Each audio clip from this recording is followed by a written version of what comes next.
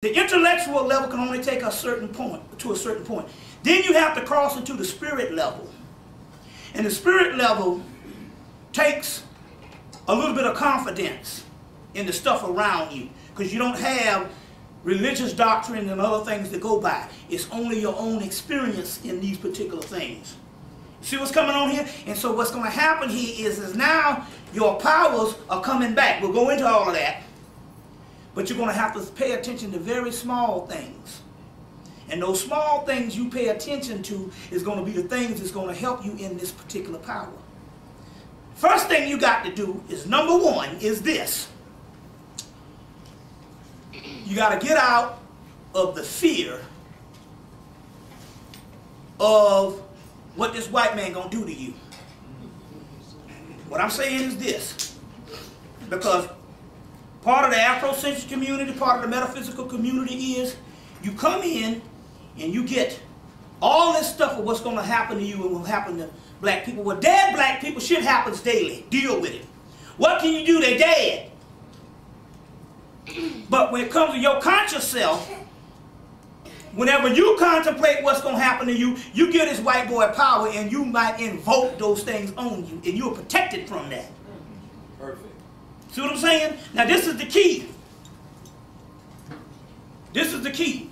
And this is why the brother C. Freeman L., the, the master, he told us, he, he would say things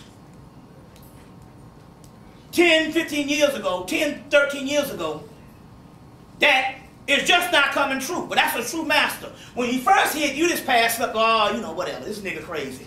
Old ass nigga, you know. But years later, the stuff comes true. So he used to tell us back in 1990 and 1994, quit talking about the white man and complaining about the white man and giving the white man power. You see what I'm saying? Now, you get people coming for you with doom and gloom. And what that does, it cuts your power base because guess what? The white boy ain't got no power. He's run out of power. If he can get you to believe he's still in power, he can delay your fucking power. Ah, shit. See what I'm saying? He ain't got no power. You see? Nigga getting caught spending $80,000 on prostitutes. right, what's that? He's in a mess. She ain't got no power. You see? Now, so the key here is, is you got to get out of this fear. That's all he got. Case in point, King Alfred plan. I used to use it too. Till I found out it was put out by the United States government. And they gave it to the black community. And give you a dossier, a lineup of what they're going to do to you. And you put this shit in your psyche. And guess what? They never have to execute none of that concentration camp and none of that shit. Because they know the rule. The rule is there are devices that's in the body that will come online immediately when the race is threatened for extinction. Now that's the that's the, the stuff that the, the East Indian government found out in 1975 when they put this when they started studying the chakras and the kundalini and they basically what they did is they had a gov they had the government come in and give a grant or allocate funds to study this, and the conclusion was that the chakras, the kundalini, the third eye, and all of this stuff, when you are threatened for extinction, these things come online and you become a Superman. It's called Firestarter. Remember the movie Firestarter with little Drew Barrymore? Start burning up shit. You see what I'm saying? So the key here is, is to never come in with an army and line you up to go to concentration camps. But the mystery here is, is to let you think that you're going to a concentration camp and keep the fear on him you because you still think he's all powerful. And everything he ever does to you is covert. What can he do to you that he ain't already did to you? See what I'm saying? So the King Alfred plan was put out by the government for you to respond to. So that you can have a fear. He can't do nothing. You see? See what I'm saying? If you know what time it is and stuff, I, I'm lonely for action. I'm like, I wish a motherfucker would come up in my space. you see what I'm saying? You see. But I, I know what, what I'm capable of doing. You see? What I'm capable of doing. So the fit, we got to get out of this fear that all this stuff is going to be done to us.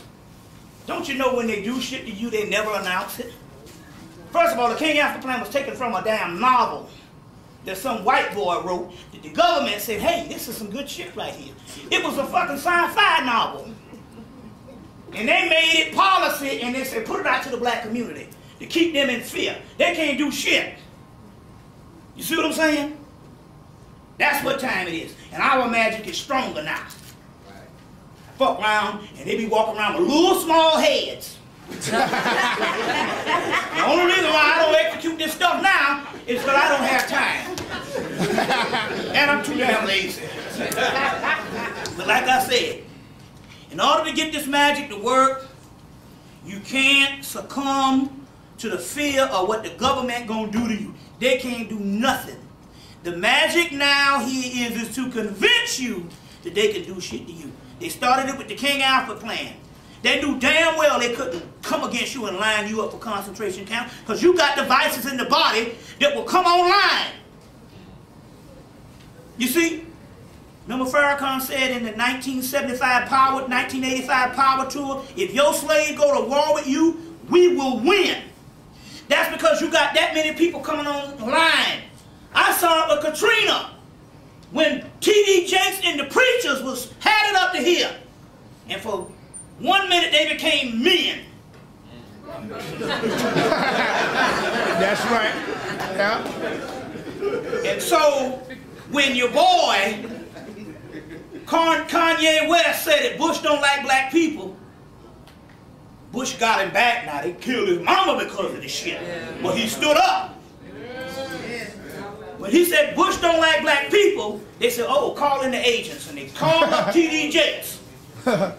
But T.D. Jakes had seen our people being left out there for five days, and, and that shit was not even that whole we shall overcome shit, and we are the world. None of that shit was hitting. The best was all black people woke up for about a week with Katrina. I mean, dead black people. And they called said, what about Kanye West saying this? He said, well, that's the going view with most of the black people in this community when you leave people out there for seven days or five days. What? He said, don't tell me I had people out there in less than 24 hours. You left them out there on purpose. This is T.D. Jakes. You see what I'm saying? So my point here is there's events that you can be confronted with that you could come online. And there's several metabolic um, endorphins in your body that make you into Superman.